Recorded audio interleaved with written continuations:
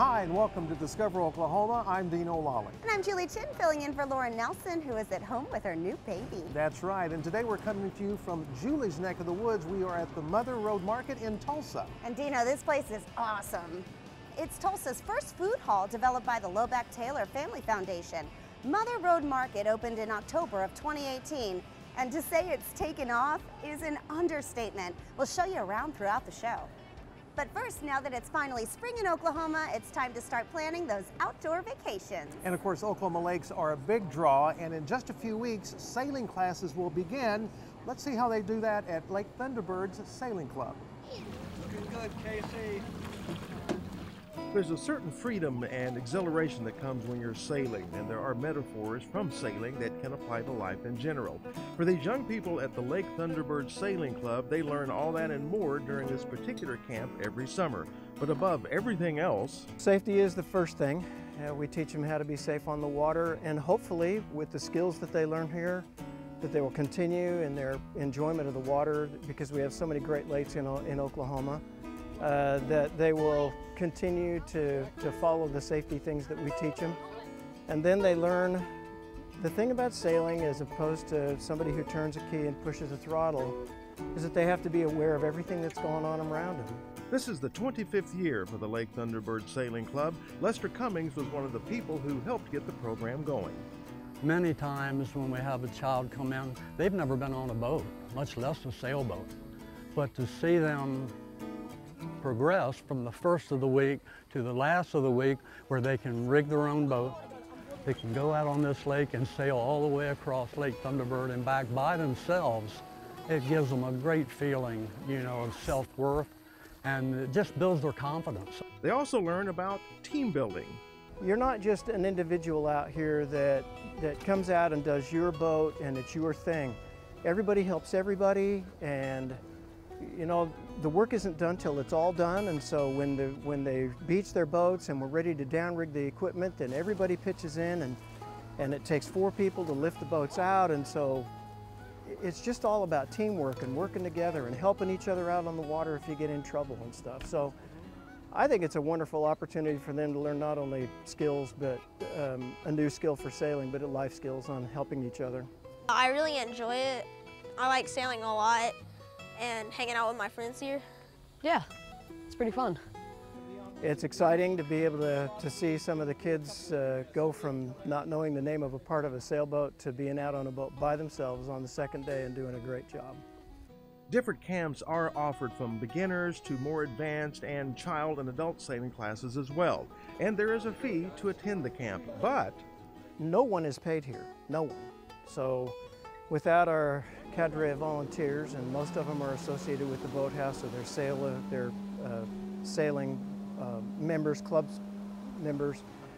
Uh, we also have people from the triathletes. They're part of our, uh, they're partners out here.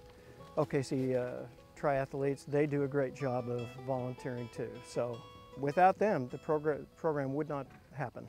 I like that we get to go on the water, the wind, um, when we rig and unrig the boats. It's really fun, and um, we get to like sail, and then we get to kayak and canoe sometimes and swim.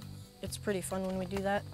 the feedback not only from the kids but the parents has always been very positive and in many instances kids return more than once to take the camp. This has been an incredible camp. This is my son's third year coming out here, and we drive in from Oklahoma City, and just um, the volunteers and the and the teaching staff is just phenomenal. Getting, giving the kids confidence in the water and kind of just getting out there and going for it. The instructors told me it is wonderful to see the kids adjust the sails to what the wind is doing. They let the wind take them or they can work against the wind. They can go with the wind, but they're always changing the set of the sails, much like life. So I kind of use that, you know, it's the way it is in life. We're always adjusting our sails to what is going on in our life. And I think the uh, sailing is a good example of that. Thunderbird Sailing Club has classes starting as soon as mid-April and running through mid-July. Hit up their website, thunderbirdsailingclub.org for more information. And after you have a little bit of fun in the sun, you might be ready to relax just a little bit. And we're better to do that than a trip to the spa. Serenity Spa in Sulphur is one of TripAdvisor's top spas in America. It's beautiful here. Um, you've got all the natural springs, the beautiful parks, the lakes, the falls. And there's so much to do and see here. It brings you back to nature. People have been coming here for many years, um, partaking of the healing properties of the waters. So It's hard to relax these days. Um, I mean, I, I drive a lot for my job and I'm involved in a lot of different things and sometimes you just really need to take that time for yourself. When people come here, they're looking for stress relief. Um, they're looking to improve their self-image. Um, they're looking to be relieved in mind, body, spirit, and soul. So we offer holistic treatments to be able to enhance that in their lives. We offer different body treatments, massage, um, manicures, pedicures. Um, we offer waxing treatments. We do bridal hair, bridal makeup.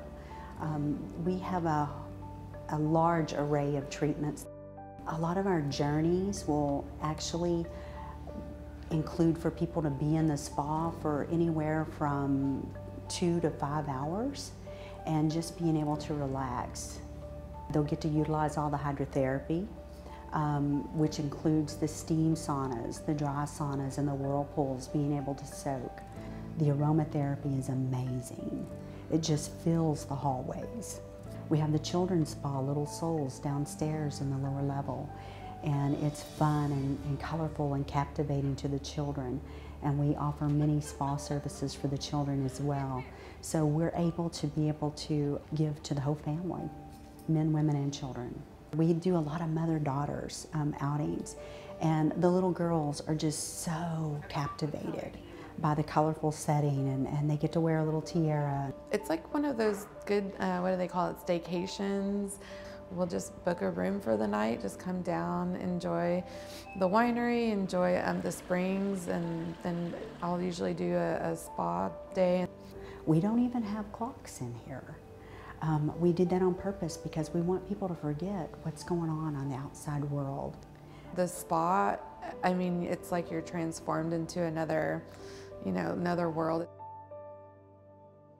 You can plan your trip to the spa and even book an overnight stay at the Artesian on their website. And check out everything else you can do in Sulphur when you download the Tourism Departments app. Just search Travel OK in the App Store. Coming up on Discover Oklahoma. It's never a bad day, bad day to have some gelato. The sweet treat at a must-stop shop in Stillwater. It's a, one of those destination places to check off your bucket list. Plus the place you just got to visit in Sapulpa. First bite, juicy burger, great flavor, warm, hot, fresh, and quick. And the search for the best burger in the state never stops. Wait until you see what we found in Tulsa coming up right here on Discover Oklahoma. Explore new horizons in your free Oklahoma Outdoor Guide. Get the excitement rolling. Reawaken your sense of adventure. Discover totally unexpected thrills. Order your free Oklahoma Outdoor Guide today at travelok.com. Welcome back to Discover Oklahoma, coming to you from the Mother Road Market in Tulsa.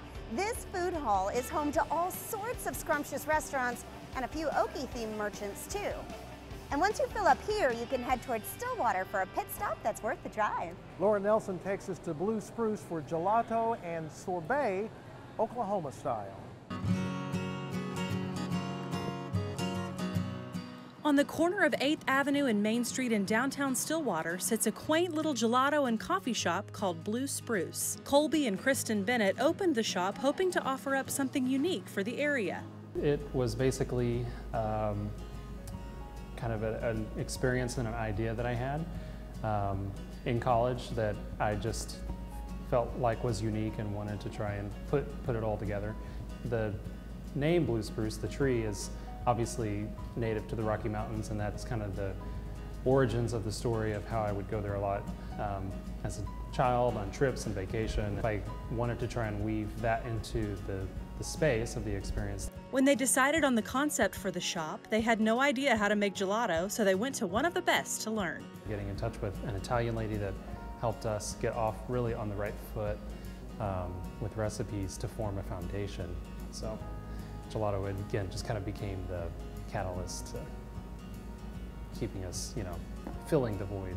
You can find around 16 different flavors of gelato and sorbet in the case at any time, and they're all delicious. A lot of our flavor ideas come from either just things that we like and see, or customers sometimes give us suggestions. And to be able to create flavors that customers give us ideas about is really, it's kind of like making tiny dreams come true. it's kind of fun. we have 16 flavors in the case. About 10 to 12 of them are base flavors that are permanent um, and then four to six will rotate every few weeks, three to four weeks based on the season. In the spring and summer, we do half of the case in sorbets um, and then half in gelatos. But at Blue Spruce, the gelato is only half the story.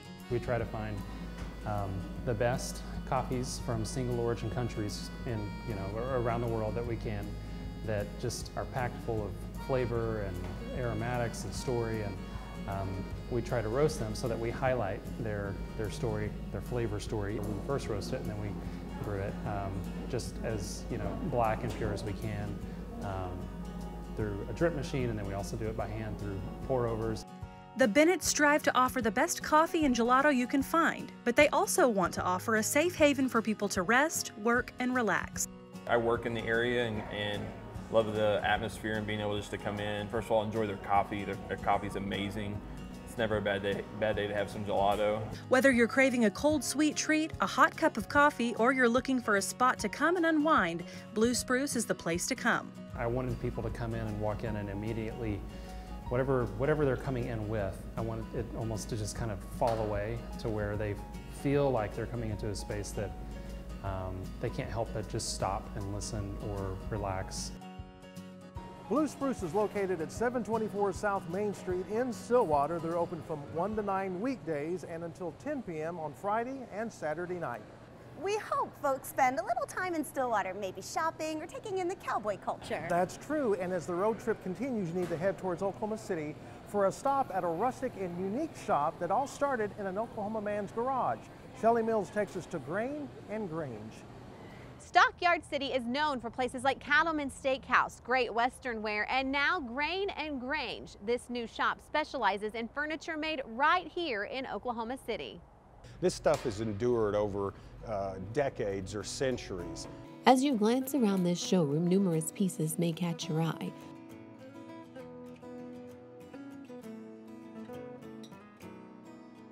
Owner Todd Miller says what makes the furniture here at Grain and Grange different is that each piece has a story.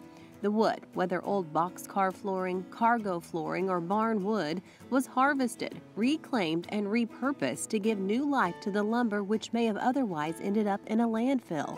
It's this wood that's been up and down millions and millions of miles of roads. It's got this beautiful texture and weathering and, and, and patina to it. Many of the pieces pay homage to the city in which they were built. The exchange table, the Edgemere table, and the Agnew table, just to name a few. We try to tie things the, the best we can back to local to Oklahoma City or even to statewide or agricultural things that people will recognize. Others remember the farms or cities that they were saved from. Miller said they often work with families tearing down an old barn to salvage the wood and give it new life to say that you know you you made something that somebody's going to spend a third of their life in or that you made something that their family's going to gather around that they're going to share meals at that they're going to cry over that they're going to do their taxes on and figure out their budgets on that means a lot to me. Despite the location directly across the street from cattleman steakhouse miller says this is not a western furniture store. While some items may appeal to that crowd there's a modern feel to much of what you will find here one of the hottest items right now, live edge tables. Those voids that are left as they grow over the course of 50 years or 100 or 200 years, those voids that are left inside are never seen again unless you ever cut the tree down. When you cut the tree down or when you slab it out into pieces that you can use to make tables out of, you see those voids in there. And one of the things that we do is fill those with a specific color resin. Creating a beautiful, unique piece that will last a lifetime. All of the things that we do are going to touch people's lives in lots of different ways, and they're going to get hopefully decades of use out of them. In Oklahoma City, Shelly Mills, Discover Oklahoma. Grain and Grange is located at 1312 South Avenue in Oklahoma City, also known as the Stockyards. They're open 8:30 to 5 Monday through Saturday, closed on Sunday. Coming up on Discover Oklahoma. It's an unusual place, so you're not going to find a place like this very many places on Wrong Route 66 for sure. A must-stop spot along the Mother Road. Some weeks it goes up to two or three times. When the burger is this good, you can't help but come back for more. We'll show you where when Discover Oklahoma continues. Gather around and go for a ride through Oklahoma's all new travel guide. See art, culture, big city venues, blazing neon, flavorful menus. Find a cabin where you can unwind. Grab your travel guide and see what you find. This portion of Discover Oklahoma is brought to you by Oklahoma Ag Credit, financing country living. Welcome back to Discover Oklahoma. We're at Tulsa's Mother Road Market, a great place to check out all sorts of restaurant entrepreneurs right along Route 66. And I promise you, everyone can find something to fill up on here. Yes, and then get back on the Mother Road, head a little bit west, and you'll find one of the sweetest shops in the heart of Sapulpa. It's a, one of those destination places you check off your bucket list. Take a ride on Oklahoma's big stretch of Route 66, and you'll find a little bit of country. Primarily, it's a ranch and western look, flair to the store, uh, from dishes to bedding, furniture, um, but we offer a lot of other styles to our customers. This is a business that spent decades in downtown Sapulpa. I started doing craft shows, and my husband told me he would pay me to quit doing the craft shows, so I opened a small store here in town, a one-room store, and um, through that period, we have been downtown a little over 30 years. Little Bit of Country now sits in this 6,400 square foot space. There's a lot of great stuff and a lot of great history here. In fact, this building dates back to 1910 when it was originally Morton's department store. You'll even find the original Morton's cash register here. It's the only thing in Little Bit of Country that's not for sale. Not to worry though, the store is packed with great gift items. Much of the merchandise is Oklahoma themed and made by Oklahomans. We have a lot of different artists that are from Sapulpa that have their items in the store. So that's why I, I love having, whether it's the prints um, or tiles or cups or the pottery, the hand-forged iron. Um, to me, that's what makes us unique, is, is having local artists also in the store. One of the biggest attractions is the hand-forged iron created by Diane's husband and one of her sons. You'll find bedding or beds. Uh, you'll find tables, lamps. Uh, he also does a lot of knives, hand-forged knives, where he does Damascus knives or hunting knives, um, curtain rods, fireplace sets. I like the knives. Gary has the knives. Of course, they have horseshoes here too. They actually sell horseshoes. I come here really often. Uh, I come for a rustic cup. I come for, for the dresses and, and the uh, blouses sometimes. This family business covers it all. Every item sold here is carefully chosen. I always figured that if for some reason something didn't work out, I wanted to have merchandise that um, I would take home or that I would give as gifts. So I've tried very hard over the years to personalize the store to make it different from everybody else. It's an unusual place, so you're not going to find a place like this very many places on Wrong Route 66 for sure. We get so many travelers through from other countries, and it's interesting to see how many different people come through. A little bit of country, where you'll find a taste of the West in eastern Oklahoma. It's certainly worth a trip to come in to a little bit of country. You'll find a little bit of country at 124 East Dewey Avenue in Sapulpa. They're open Tuesday through Friday, 10 a.m. to 5.30 p.m. until 3.30 on Saturdays, and they're closed Sunday and Monday. Up next on Discover Oklahoma. I've got a sizzler that's pepper jack cheese, fried jalapenos, onion ring strings, and drizzled and smothered in ranch. Some of the best burgers in the state. We're trying out Flo's in Tulsa when Discover Oklahoma continues. There are some things you just can't contain. Oklahoma Today magazine is bursting with culture. Mind blowing restaurants, trips, adventures, and so much more. Open your copy, then hit the open road. Unleash your curiosity. Set your spirit free. Subscribe today for only $14.95. Oklahoma Today magazine. Break through the ordinary. Had such a great time checking out all the fabulous food here at Mother Road Market. But if all the choices can be too overwhelming for you, we can actually simplify things just a little bit. Do you want a juicy burger? Who doesn't? Jason Grubbs is going to take us to one of the best burger places right here in T-Town. I love to cook. Um, I've always loved to cook since I was a kid for family, family functions. I mean, just anything. Sit at home, not even hungry, just cook something up, take pictures of it. That love for cooking led Brandy Atkins to create Flo's Diner. She's opened three locations since 2014. This one here is along Route 66 in Tulsa. The name Flo, well, it's in the family. Mom's name is Floette, my dad's name is Floyd, my grandmother's Flora. So I just chopped them all down and turned it into Flo. Customers are flowing into this little diner just east of downtown. Delicious. That's why I came back. You can't beat them anywhere. First bite, juicy burger, great flavor, warm, hot, fresh, and quick. Scott Berry comes in at least once a week. Some weeks it goes up to two or three times. Scott has a true passion for burgers. Flo's is a favorite. I'm a huge burger fiend. I love trying to go all the burger places there are out here to go to and this is one of my favorite places. Flo seems like it's been along Route 66 forever. It's actually only been open for a little while, but the burgers here are legendary, and I think the bomb sauce has something to do with that. Every single burger here, I put the bomb sauce on it pretty much. Doesn't matter what burger it is, I add the bomb sauce to it. It's just that good. The bomb sauce is secret, of course. Add it on an old classic, or like Scott says, to any of Brandy's creative creations. Why not try it on a bacon cheddar barbecue burger with stacked onion rings or something spicy? I've got a sizzler that's pepper jack cheese, fried jalapenos, onion ring strings, and drizzled and smothered in ranch. As for the sides, they're just as good as Flo's burgers. She says nothing is frozen.